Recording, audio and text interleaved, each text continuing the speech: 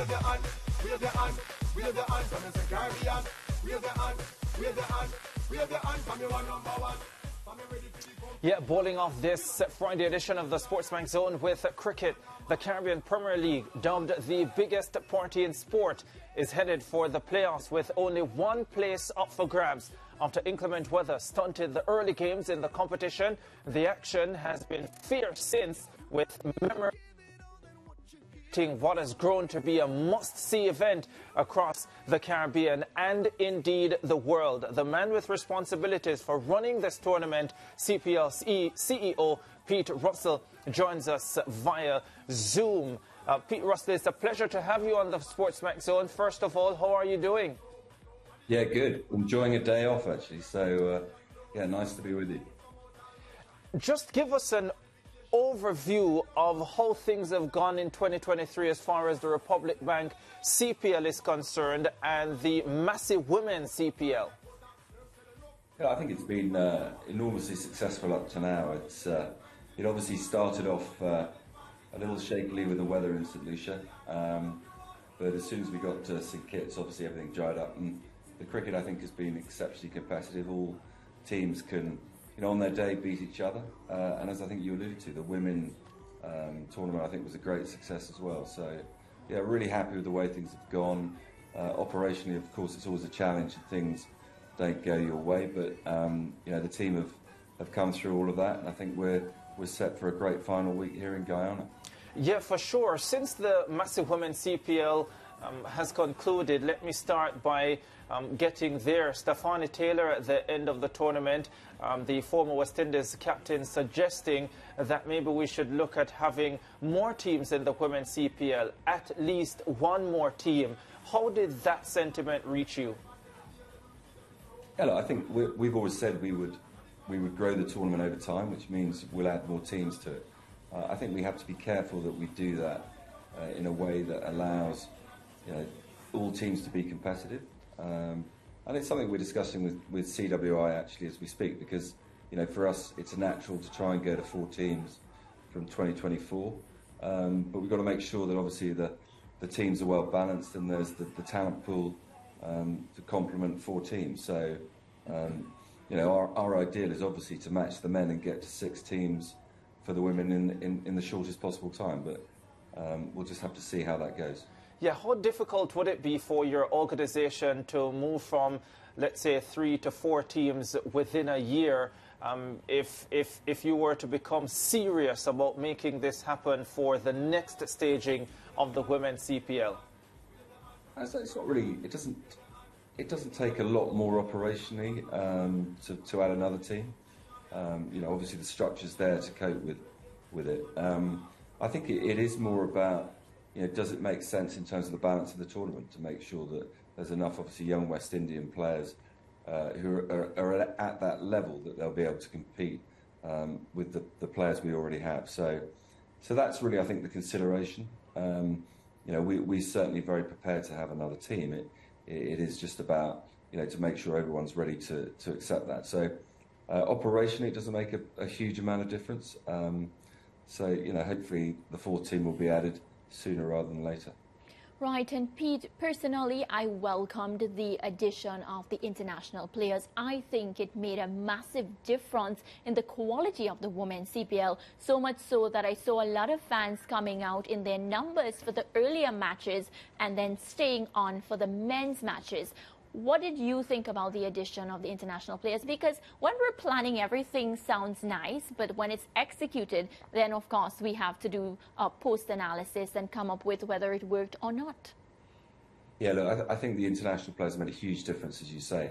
Uh, and, you know, just speaking to the international players and also obviously the local players, it, it's pretty clear that the international players love being here uh, and they also love sh- sharing their knowledge. So, uh, and I think that was very well received by the local players, which is, is really what um, the whole process is about. It's about improving West Indian cricketers to make sure they go on and play well for West Indies. So on, on that level, I think it worked brilliantly. I think your points about you know the fact that the fans came out early, I think we did do a good thing by linking the tickets, i.e. The, having a double head of the men and the women. I think that worked very well, uh, especially obviously in Trinidad, uh, where fans did come for the for the latter part of the women's game. And you know, one of the discussions we're having at the minute is whether actually we put on uh, a women's game on its own for a seven o'clock slot um, next year because we believe actually that the fans will come out and watch them um, without having the support of the men's game. So, you know, the, the women's game has, has really moved on very quickly, which is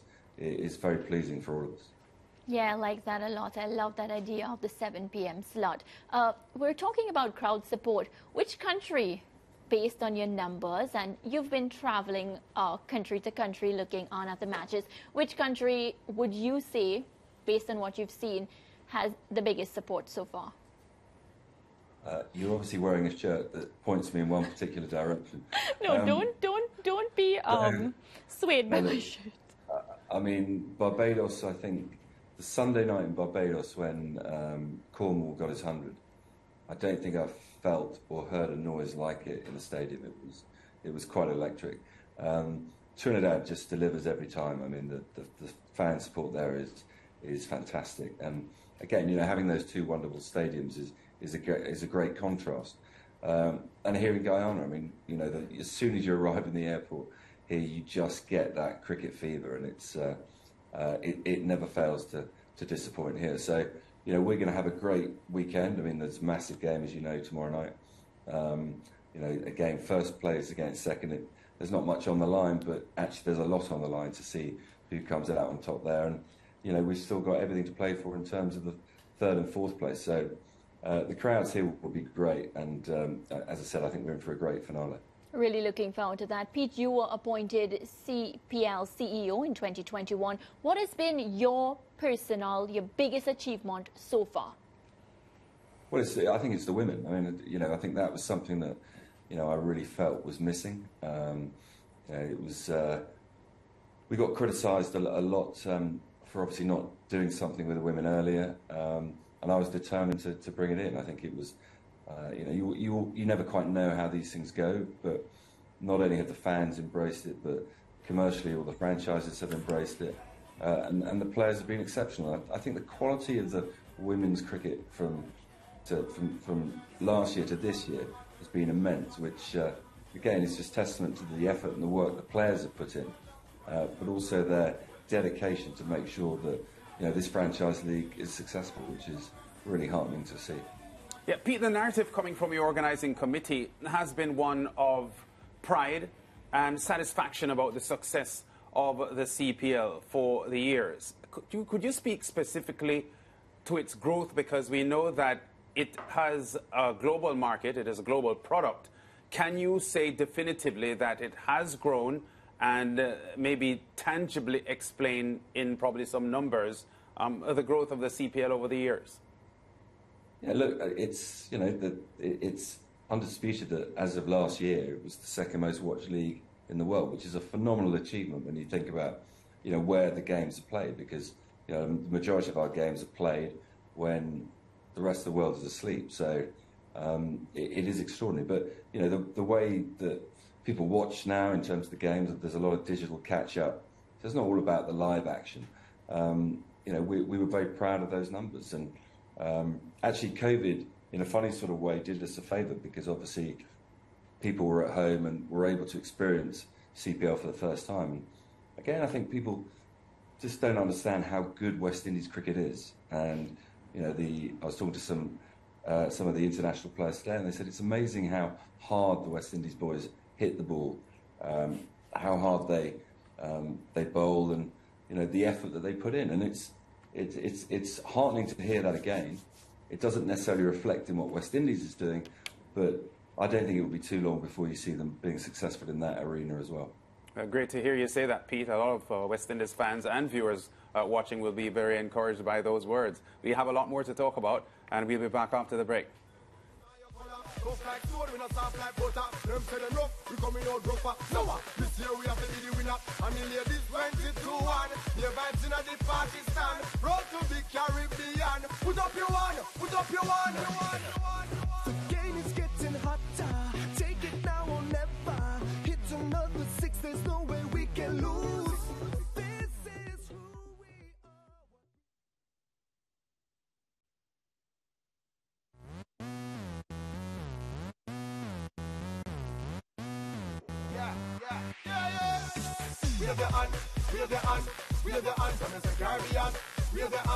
Wave your hand, wave your hand from your one number one.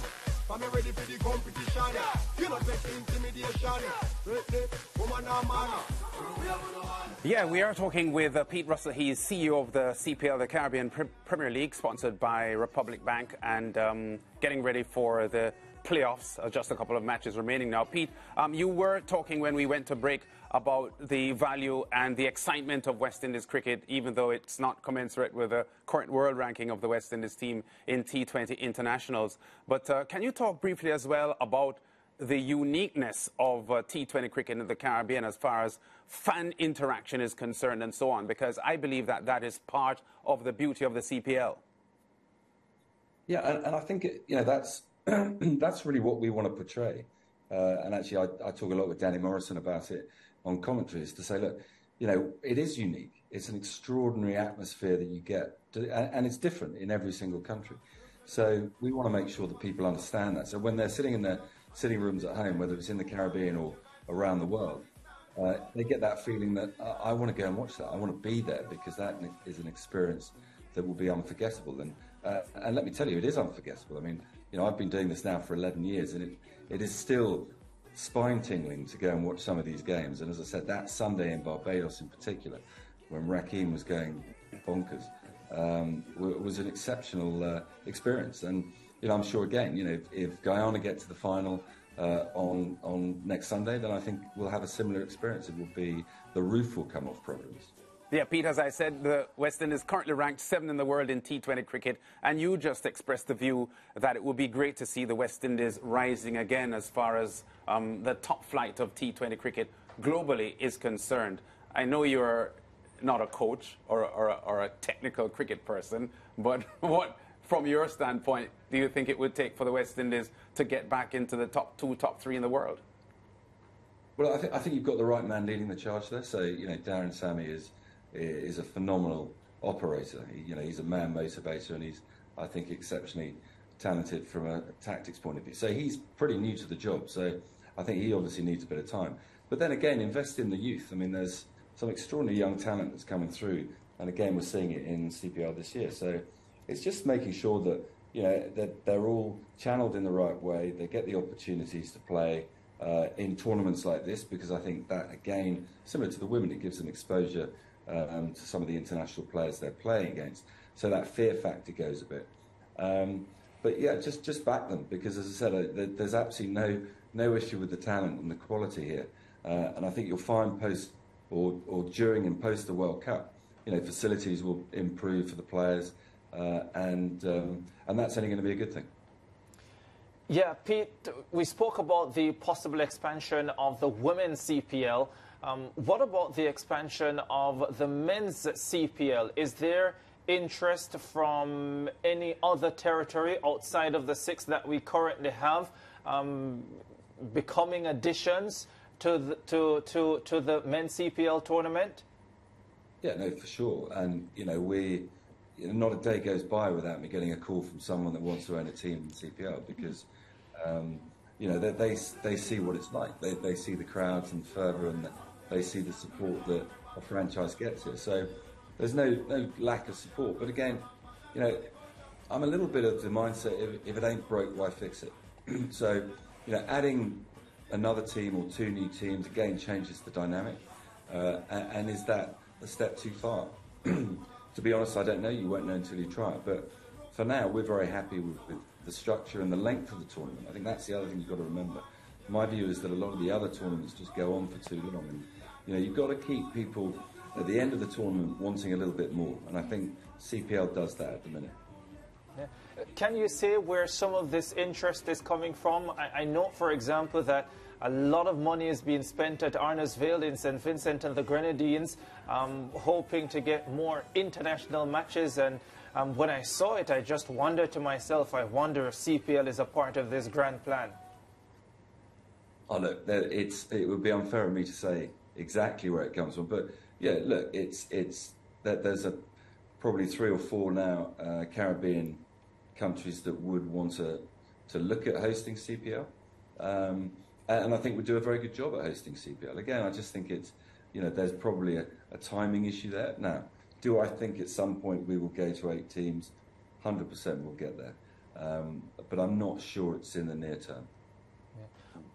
I think one of the, the, the disappointments, um, certainly from a Jamaican standpoint, is the fact that the CPL has not been to the land of wood and water since 2019. From your standpoint as CEO, how disappointed are you with that development? Look, that's my, you know, it, you talk about what, what are your successes in the job. That is my biggest failure in the job, that we're not playing cricket in Jamaica.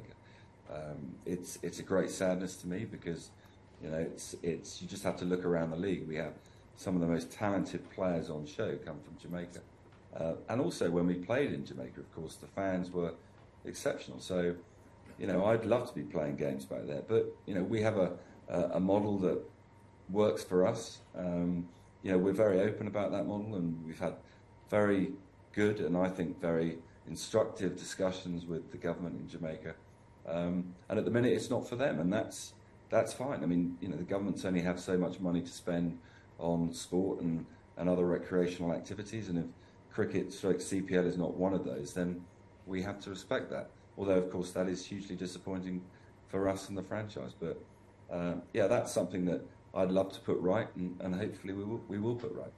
Pete, one of the views coming from the support for the government's position of not supporting the Jamaica Tallawahs for home games at Sabina Park, or even the Trelawny Stadium for that matter, is the view that the owners of the Jamaica Tallawahs are businessmen. Um, we had them live on our show last week or the week before discussing some of their discussions with the government. And there was a view that these are businessmen who are trying to make money, and the government is not obligated to get into any contractual arrangements with them, um, offering them financial support for a project for the Tallawahs playing cricket in Jamaica. Um, could you comment on that and, and the fact that it is the same in other countries and other, other governments have supported their local franchises? Yeah, I'm not sure that them being businessmen is necessary. I think that's a bit of a red herring. I think what they're trying to do um, is, and look, Kris Persad, who's obviously the owner, has committed a huge amount of funds over the years, um, more than any other franchise, without a shadow of doubt. So he's really looked to invest, uh, and that was always his ambition. And as you know, he owns a stadium in Miami as well. So it's not just about uh, a business transaction for him. He, he really did want to grow the franchise in Jamaica. I think the other elements of it is, and you know, one of the proposals that we put forward to the government was, look, let's look at this as a public-private partnership. You know, how can we help from uh, a private perspective to encourage private organisations, corporations to work alongside the government to come up with the funds required to make sure that we can bring games back to Jamaica. And you know, there was a very full and frank discussion about that, and you know, I sent a model as to how that could look and work. So, you know, we're trying our bit to make sure that the government is totally is, is not totally on the hook, uh, as it shouldn't be. Uh, you know, there has to be a lot of support, obviously, from from the private sector as well.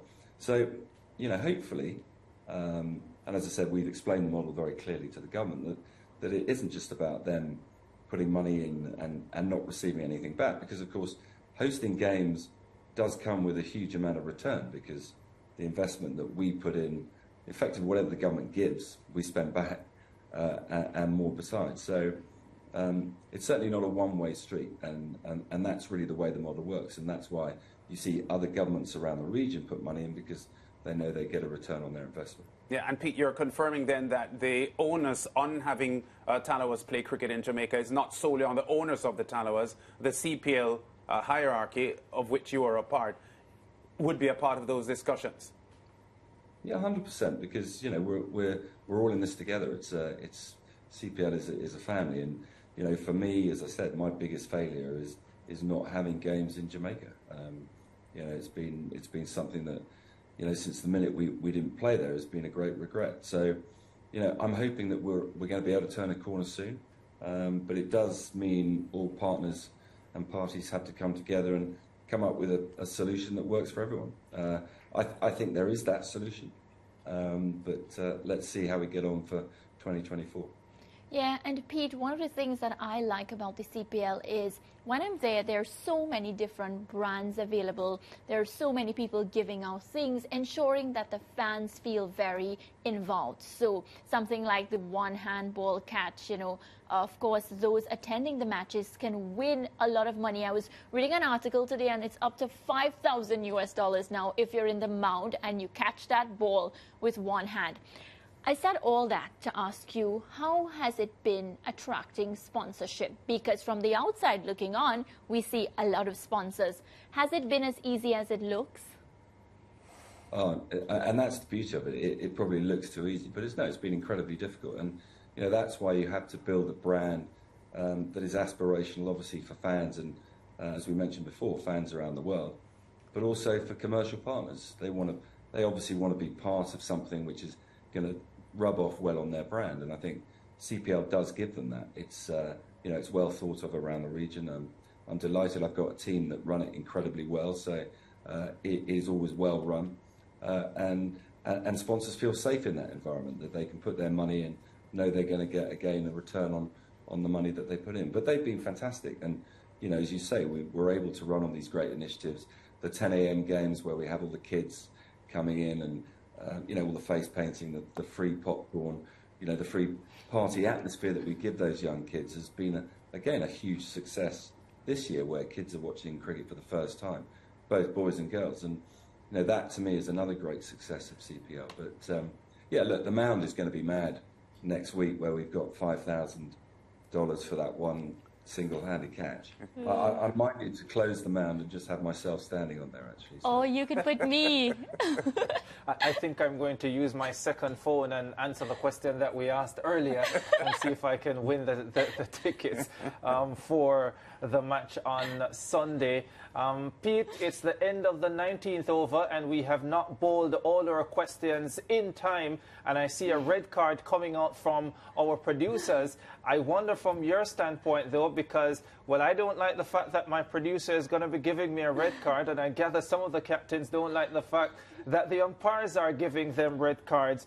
Uh, given everything that has happened in this inaugural well, season of utilizing the red card um, for slow over rates, would you any at all be open um, to removing the, the red card rule? No. Um, you know, for, for me, it, it was there for a reason, which is to, to speed up the game. We've now got games being played 20 minutes faster than they were last year. So it, it's done its job. And, you know, you have to look across the 26 games. Um, we've had three red cards. Now, they've been over by about a minute, minute and a half. So it's been pretty close. But, you know, most captains, in fact, all captains, apart from um, one notable one, have accepted it as being good for the game. It speeds them up a little bit. You know, and even last night, you know, there was a they were uh, a minute down in the 17th over, but caught up. Um, so captains are beginning to learn to, to, to, work with it. What we have done for the for the playoffs is we've extended it by five minutes, giving them five minutes extra because we understand, you know, that the pressure of a playoff or, or a final will be uh, a little bit more. So so they get a bit more leeway in the playoffs and the final. But I think as a as a project and uh, as a new initiative, it's done exactly what we wanted it to do. Yeah, Pete Russell, let's leave that there for today. It's been a pleasure speaking with you and uh, continue to do an amazing job. The product looks magnificent. Wherever you watch it across the world, it looks even better on the Home of Champions, by the way. But yeah, it's Sportsmax, um, and it's been wonderful. And for me, it's been especially wonderful watching the matches in Guyana. I know you spoke about Barbados, and on the night that Rahkeem Cornwall scored that amazing century, um, but it just looks as if there isn't even space to walk when the matches are being played at Providence, and I can't wait to see what the playoffs look like. Thank you very much for joining us, and all the very best with the rest of the season.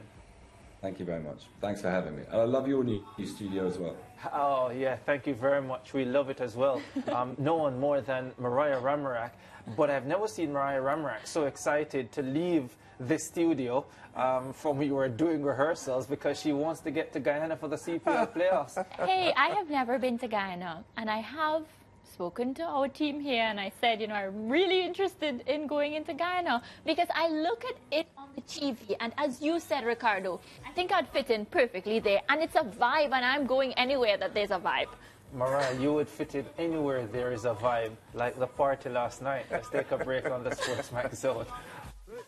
Woman or man, we are full of honor. This is how we play the game. This is how we play. And we gon' represent and show them who.